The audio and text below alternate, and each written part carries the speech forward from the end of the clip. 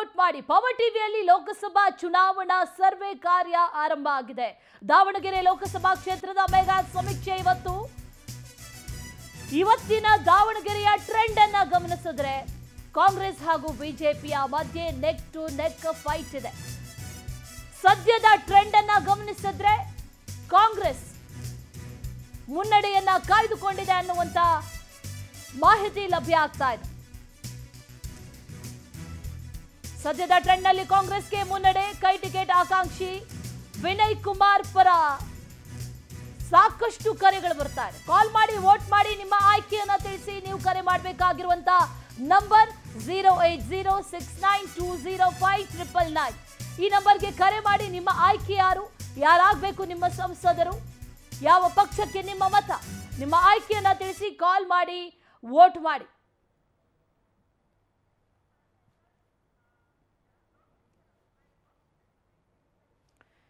ವಿಚಾರಕ್ಕೆ ಸಂಬಂಧಪಟ್ಟಂತೆ ಮತ್ತಷ್ಟು ಡೀಟೇಲ್ಸ್ ಅನ್ನ ಎಲೆಕ್ಷನ್ ಸೆಂಟರ್ನಿಂದ ಪ್ರತಿನಿಧಿ ಲೋಕೇಶ್ ನೀಡ್ತಾ ಹೋಗ್ತಾರೆ. ಲೋಕೇಶ್, ಸದ್ಯದ ಟ್ರೆಂಡ್ ಯಾವ ರೀತಿಯಾಗಿದೆ? ಯಾರ ಪರ ಒಲವಿದೆ? ಯಾರು ಮುನ್ನಡೆಯನ್ನ ಕಾಯ್ದುಕೊಂಡಿದ್ದಾರೆ? ಏನೇನು ಡೀಟೇಲ್ಸ್ ಇದೆ? ಅಶ್ವಿನಿ, ದಾವಣಗೆರೆ ಲೋಕಸಭಾ ಕ್ಷೇತ್ರ ಒಂದು ರೀತಿ ಬಿ ಜೆ ಪಿಯ ಭದ್ರಕೋಟೆ ಇದ್ದಂತೆ. ಕರಾವಳಿಯಲ್ಲಿ ದಕ್ಷಿಣ ಕನ್ನಡ ಜಿಲ್ಲೆ ಹೇಗೆ ಬಿ ಜೆ ಪಿ ಭದ್ರಕೋಟೆಯೋ, ಅದೇ ರೀತಿ ಮಧ್ಯ ಕರ್ನಾಟಕದಲ್ಲಿ ದಾವಣಗೆರೆ ಅಂದ ತಕ್ಷಣ ಬಿ ಜೆ ಪಿ ಭದ್ರಕೋಟೆ ಅನ್ನೋದಲ್ಲಿ ಎರಡು ಮಾತೇ ಇಲ್ಲ. ಕಾರಣ ಕಳೆದ ಇಪ್ಪತ್ತೆಂಟು ವರ್ಷಗಳಲ್ಲಿ ಒಂದೇ ಒಂದು ಬಾರಿಯೂ ಕಾಂಗ್ರೆಸ್ ಗೆದ್ದಿಲ್ಲ. ತೊಂಬತ್ತೆರಡು, ಎಂಟು, ಎರಡು ವರ್ಷವಾಗಿರುವಂತಹ ಶಾಮನೂರು ಶಿವಶಂಕರಪ್ಪನವರು, ನಾನು ಸಾಯೋ ಕಡೆಯಲ್ಲಿ ಒಂದು ಬಾರಿ ಆದರೂ ಜಿ ಎಂ ಸಿದ್ದೇಶ್ವರ ಅವರ ಸೋಲನ್ನು ನೋಡಬೇಕು ಅಂತ ಸಾಕಷ್ಟು ಬಾರಿ ಈಗಾಗಲೇ ಹೇಳಿದ್ದಾರೆ.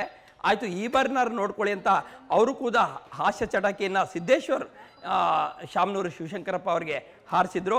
ಒಂದೇ ವೇದಿಕೆಯಲ್ಲಿದ್ದರೂ ಇಂಥ ಹಾಸ್ಯ ಚಟಾಟಿ ಚಟಾಕಿಗಳನ್ನು ಇಬ್ಬರು ಹಾರಿಸ್ತಾ ಇರ್ತಾರೆ. ಆದರೆ ಈ ಬಾರಿಯೂ ಕೂಡ ಬಿ ಜೆ ಪಿಯಿಂದ ಶಾಮನೂರು ಶಿವಶಂಕರಪ್ಪಂಗೆ ವಯಸ್ಸಾಯಿತು ಅಂತ ಟಿಕೆಟ್ ಕೊಡ್ದ, ಕೊಡದೇನೆ ಇರ್ಬೋದು ಅಂತ ಹೇಳ್ತಾ ಇದ್ದಾರೆ. ಆದರೆ ಸ್ಪರ್ಧೆಯಿಂದ ಹಿಂದೆ ಅಂತೂ ಜಿ ಎಂ ಸಿದ್ದೇಶ್ವರ ಅವರು ಸೆರೆದಿಲ್ಲ. ಹೀಗಾಗಿ ಬಹುತೇಕ ಅವ್ರಿಗೆ ಟಿಕೆಟ್ ನೀಡುವ ಸಾಧ್ಯತೆ ಇದೆ. ಒಂದು ವೇಳೆ ಜಿ ಎಂ ಸಿದ್ದೇಶ್ವರ ಅವರಿಗೆ ಟಿಕೆಟ್ ಕೊಡದೇ ಇದ್ದ ಪಕ್ಷದಲ್ಲಿ ನನಗೆ ಕೊಡಿ, ನಾನು ಕಳೆದ ವಿಧಾನಸಭಾ ಚುನಾವಣೆಯಲ್ಲಿ ಸೋತಿದ್ದೇನೆ ಅಂತ ಹೊನ್ನಾಳಿಯ ಮಾಜಿ ಶಾಸಕ ರೇಣುಕಾಚಾರ್ಯ ಅವರು ಈಗಾಗಲೇ ಸುಮಾರು ದೆಹಲಿ ದಂಡಯಾತ್ರೆ ಮಾಡಿ ಬಂದಿದ್ದಾರೆ. ಬಿ ಜೆ ಪಿ ಹೈಕಮಾಂಡ್ ಬಳಿ ಮನವಿಯನ್ನು ಸಲ್ಲಿಸಿದ್ದಾರೆ. ಆದರೆ ಯಾವ ರೀತಿ ಅವರ ಮನವಿಯನ್ನು ಪುರಸ್ಕಾರ ಮಾಡುತ್ತೋ ಅನ್ನೋದು ಗೊತ್ತಿಲ್ಲ. ಇನ್ನು ಕಾಂಗ್ರೆಸ್ ಏನಾದರೂ ಮಾಡಿ ಈ ಸಾರಿ ಬಿ ಜೆ ಪಿಯನ್ನು ಸೋಲಿಸಬೇಕು ಅಂತ ದೃಷ್ಟಿಯಿಂದ ಶಾಮನೂರು ಶಿವಶಂಕರಪ್ಪ ಅವರ ಸೊಸೆ ಪ್ರಭಾ ಮಲ್ಲಿಕಾರ್ಜುನ್ ಅವರನ್ನು ಕಣಕ್ಕಿಳಿಸ್ಲಿಕ್ಕೆ ಪ್ಲಾನ್ ಮಾಡಿದೆ.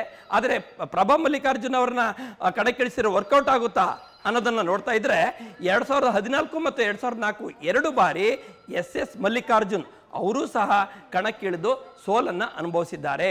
ಎಸ್ ಎಸ್ ಮಲ್ಲಿಕಾರ್ಜುನ್ ಯಾರಪ್ಪ ಅಂದರೆ ಶಾಮನೂರು ಶಿವಶಂಕರಪ್ಪ ಅವರ ಪುತ್ರ. ಅವರೀಗ ಹಾಲಿ ಸಚಿವರಾಗಿದ್ದಾರೆ.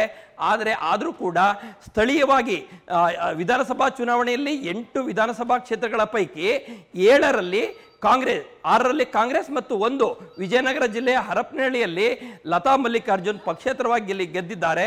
ಅವರು ಕೂಡ ಕಾಂಗ್ರೆಸ್ಸನ್ನು ಬೆಂಬಲಿಸ್ತಾರೆ. ಆದರೆ ಸ್ಥಳೀಯ ವಿಧಾನಸಭಾ ಚುನಾವಣೆಯ ಸ್ಥಳೀಯ ವಿಚಾರಗಳನ್ನು ಇಟ್ಟುಕೊಂಡು ಹೋದರೆ ಇದು ರಾಷ್ಟ್ರೀಯ ಹಿತಾಸಕ್ತಿ ಮೇಲೆ ನಡೆಯುವಂಥ ಚುನಾವಣೆ ಲೋಕಸಭಾ ಚುನಾವಣೆ. ಹಾಗಿದ್ರೂ ಕೂಡ ಒಂದೇ ಒಂದು ವಿಧಾನಸಭಾ ಕ್ಷೇತ್ರದಲ್ಲಿ ಹರಿಹರದಲ್ಲಿ ಬಿ ಪಿ ಹರೀಶ್ ಮಾತ್ರ ಬಿ ಜೆ ಪಿ ಶಾಸಕರಾಗಿದ್ದಾರೆ. ಆದರೆ ಲೋಕಸಭೆ ಅಂತ ಬಂದ ತಕ್ಷಣ ಇಲ್ಲಿ ಬಿ ಜೆ ಪಿ ಮಯವಾಗಿಬಿಡುತ್ತೆ. ಮತ್ತು ಇನ್ನೊಂದು ಈ ಕಾಂಗ್ರೆಸ್ ಯಾವ ರೀತಿ ಗೆಲ್ಬೋದು ಅಂದರೆ ಅಹಿಂದ ಮತಗಳು ಹೆಚ್ಚಿವೆ. ಎಸ್ ಸಿ ಎಸ್ ಟಿ ಕುರುಬಾಸು. ಈ ಮತಗಳು ಹೆಚ್ಚಿರೋದ್ರಿಂದ ಮತ್ತು ಮುಸ್ಲಿಮು ಈ ಮತಗಳನ್ನು ನೆಚ್ಚಿಕೊಂಡಿರುವಂಥ ಕಾಂಗ್ರೆಸ್ ಈ ಬಾರಿ ಏನಾದರೂ ಮಾಡಿ ಅಹಿಂದ ವರ್ಗದ ವ್ಯಕ್ತಿಗೆ ಟಿಕೆಟ್ ನೀಡಬೇಕು ಅನ್ನೋ ದೃಷ್ಟಿಯಿಂದ ಕುರುಬ ಸಮುದಾಯದ ಜಿ ಬಿ ವಿನಯ್ ಕುಮಾರ್ ಅವರಿಗೆ ಟಿಕೆಟನ್ನು ನೀಡಿದರೆ ಹೇಗೆ ಅಂತ ಪ್ರಯೋಗ ಮಾಡಲಿಕ್ಕೆ ಮುಂದಾಗಿದೆ. ಲಿಂಗಾಯತರಿಗೆ ಬದಲಾಗಿ ಕುರುಬ ಸಮುದಾಯದಕ್ಕೆ ಸೇರಿದಂತಹ ಮತ್ತು ಸಿ ಎಂ ಸಿದ್ದರಾಮಯ್ಯನವರ ಆಪ್ತರಾಗಿರುವ ವಿನಯ್ ಕುಮಾರ್ ಅವರಿಗೆ ಟಿಕೆಟ್ ನೋಡಲಿಕ್ಕೆ ಪ್ಲಾನನ್ನು ಮಾಡಿದೆ.